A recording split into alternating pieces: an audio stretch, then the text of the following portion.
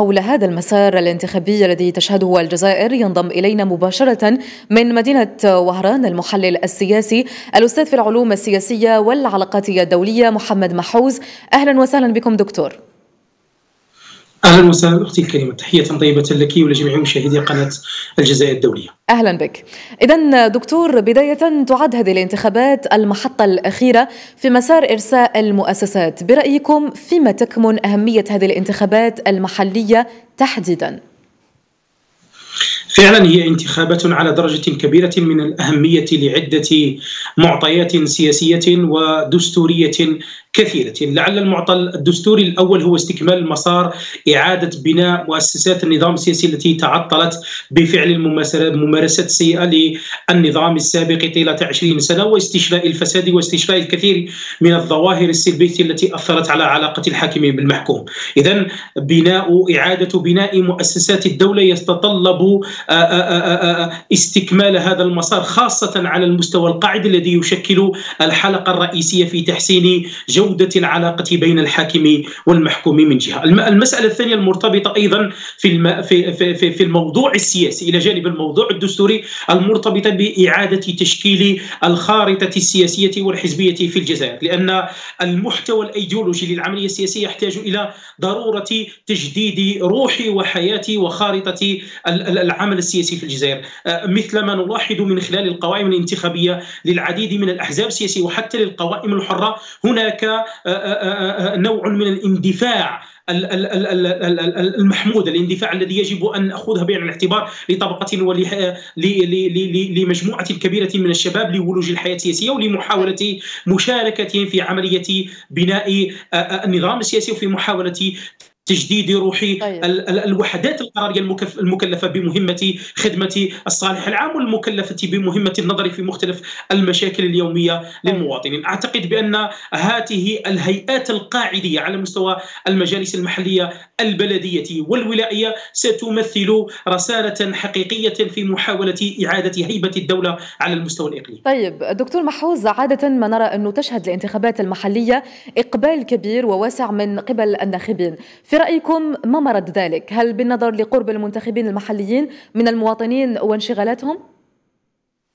أكيد أن المهام المنوطة بالمجالس المحلية ترتبط بالنظر في مختلف الانشغالات اليومية للمواطن، هناك نقطة التماس مباشرة بين المنتخبين المحليين وعموم المواطنين وعلى هذا الأساس تسهل عملية التعبئة للسلوك التصويتي في العملية السياسيه، لكن دعيني أختي الكريمة أن أشير إلى نقطة مهمة لابد أن ناخذها بعين الاعتبار طيلة هذا المسار، لا يجب أن تقتصر عملية إشراك المواطن في الحياة السياسية بصفة عامة على السلوك الانتخابي. فعلا أصبحت نسبة المشاركة تشكل هاجسا حقيقيا بالنسبة للنخبة السياسية بصفة عامة من منطلق أن ظاهرة العزوف الانتخابي تؤثر بشكل كبير على شرعية النظام السياسي. وبالتالي لابد أن نلتفت إلى ضرورة دفع المواطن نحو المشاركة ونحو التفاعل الإيجابي مع مدخلات ومخرجات النظام السياسي نحو التفاعل مع قرارات النظام السياسي نحو المشاركة أو ما يسمى بتعزيز الديمقراطية التشاركية التي تسمح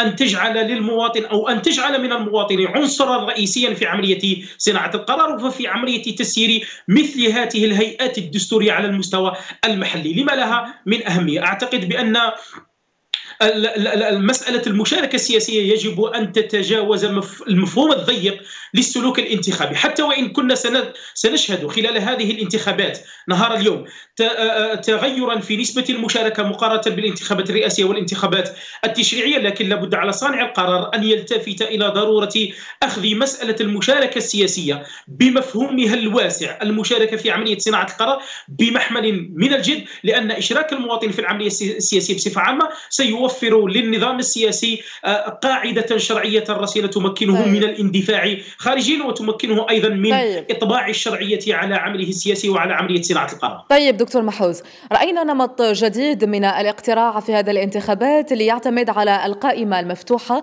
وبتصويت تفضيلي، ما رأيكم في هذا النمط الجديد؟ أكيد أن هذا النمط من بين أو أولى الإيجابيات المترتبة عنه أنه سيساعد على في مواجهة ظاهرة الفساد السياسي في مواجهة استئثار الأحزاب السياسية بتشكيل القوائم الانتخابية من جهة وأيضا بتحديد مراكز المترشحين في قوائمهم الانتخابية. أعتقد بأن هذه الأداة وهذا النمط الجديد في نظام الانتخابات سيتمكن المواطن من اختيار الرجل المناسب في المكان المناسب إن صح التعبير. سيمكن المواطن من إيصال صوته وحقيقة توجهه في اختيار وفي اختيار تفضيلاته إلى الأشخاص الذين يعبرون من وجهة نظره عن طموحاته يعبرون من وجهة نظره عن أهليتهم لشغل هذا المكان السياسي وهذا المكان الاجتماعي إن صح التعبير خاصة كما قلنا على مستوى المجالس المنتخبه المحلية من منطلق أن المواطن لديه انشغالات معينة محددة واضحة المعالم ترتبط ارتباطا مباشرا بالبرامج المعلنة من قبل المترشحين من أجل طيب. وضعها محمل وضعها موضع العمل وضعها موضع التجسيد من أجل الاستجابة لمختلف تطلعات المواطنين وهذا ما طيب. يمكن أن يسمح به هذا النظام الجديد في عملية الاقتراع. طيب دكتور وبالفعل هذا الجواب يقودنا إلى السؤال الأخير اللي رأينا قبل قليل تصريحات لرئيس الجمهورية السيد عبد المجيد تبون عندما تكلم على منح صلاحيات أوسع للمجالس المحليه المنتخبة، هل تكفي هذه التعهدات من أجل الخروج من التسيير النمطي لهذه المجالس؟